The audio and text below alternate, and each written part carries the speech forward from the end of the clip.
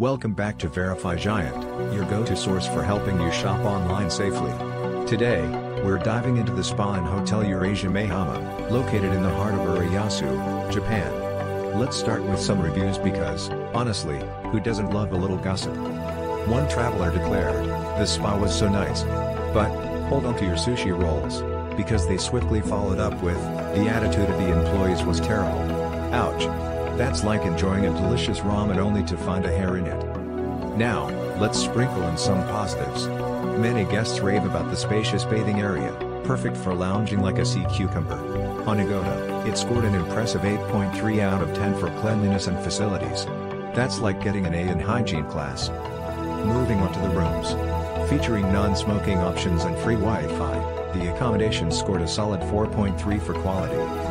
Not too shabby, but no one wants to feel like they're sleeping in a transit lounge, right? When it comes to dining, the hotel offers a mix of local and international dishes. However, don't expect an all-you-can-eat sushi buffet.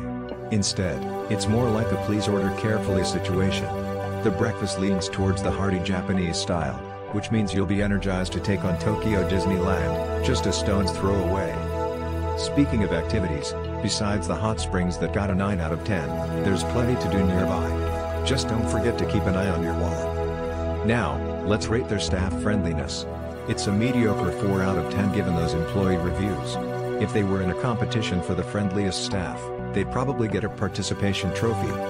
Now to sum it up, location, 8 out of 10. Room quality, 4 out of 10. Facilities, 8.3 out of 10. Dining options, 6 out of 10. Cleanliness, 8.3 out of 10. Adding it all up, we landed a total score of 57 out of 100. So, here's the verdict, is it worth visiting? Yes, but only if you're willing to overlook the staff's attitude.